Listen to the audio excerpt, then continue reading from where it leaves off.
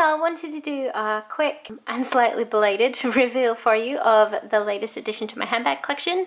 It is another Rebecca Minkoff bag that I got for Mother's Day. I have tried to rewrap it up here as best as I could to do the reveal. This all happened because I mentioned to my husband that the bag that I'd been looking at on eBay was actually cheaper than some flowers.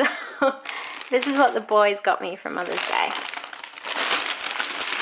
I have, of course, already opened didn't come with a dust bag, but it did come all wrapped up in this material here. You can kind of get a hint of what it is in there because I wrapped it so badly. It's not a new style for me. It's one that I already have and love, so I knew that I would adore this. It's this beautiful little Rebecca Minkoff Mini Mac bag. It's this lovely blue-grey colour, which I think, based on the colour of the lining, might be, but I'm not 100% certain, the 2012 Sky Grey. It's got the gold tone hardware. It's in actually really good condition for a second-hand bag, especially if it is the 2012 one that I think it is. It's this gorgeous, gorgeous shade. I'm very happy with it. And that bright blue lining there. It does have a little bit of wear. There is a little bit of wear to the hardware where the gold plating's coming off and you can see the silver underneath, but still really happy with this. It is beautiful. And as you may know from watching my other videos, I do have a lot of mini Mac bags. I love them. They're the great go-to bag for me. Just fits all my essentials in it so beautifully. Another reason that I love the color of this bag is because it's very similar to another one that I have, my Balenciaga Day. So that's in the Tempête shade. It's a little bit more blue toned, a little bit less grey, but they are very similar colors. And so I love this shade of blue. It's so nice. I'll show you what's inside as well. I usually carry just the essentials with me and that's why the mini Mac bag is perfect. Something like my wallet, my car keys as well.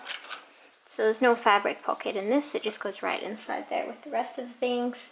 And then because we are in the world with coronavirus, I actually have uh, not one but two hand sanitizers one with alcohol for the kids because it kills the virus and one without for me because the alcohol based ones kill my hands. And then last but not least my phone goes in there too. So it's not overstuffed by any means. I could probably fit a few more things in there but just for the state that the world is now I'm not really going out very often I just need my car keys to drive, my wallet because it's got like my IDs and stuff in it if I do actually need to go to the shops. And of course hand sanitizer because everyone has to have that now. I'll show you what the bag looks like when worn as well. So this is what the Mini Mac bag looks like when worn, just worn over the shoulder on me. It's a nice length, not too long even though I'm petite. But wearing it crossbody is definitely my favourite way to wear it. I hope you enjoyed the short and sweet reveal of this Rebecca Minkoff Mini Mac bag. It is a gorgeous addition to my collection. I really, really like the colour. And it's nice to have another bag with gold hardware as well. I was a little bit delayed in getting the video up. I apologise.